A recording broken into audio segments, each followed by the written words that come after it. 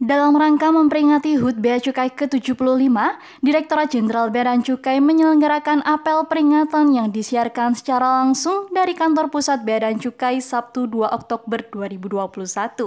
Mengangkat tema menampi masa Kumpulkan Asa Bea Cukai untuk Indonesia, apel ini dipimpin oleh Menteri Keuangan Republik Indonesia Sri Mulyani Indrawati.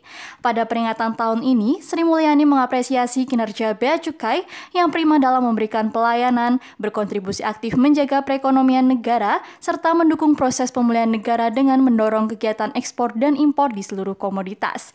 Di bidang cukai, Sri Mulyani mengapresiasi langkah-langkah bea cukai dalam menangani cukai ilegal yang tidak pernah kendur meskipun dalam masa pandemi COVID-19. Apresiasi juga diberikan kepada bea cukai yang aktif memfasilitasi kesediaan barang dan alat kesehatan untuk menangani COVID-19.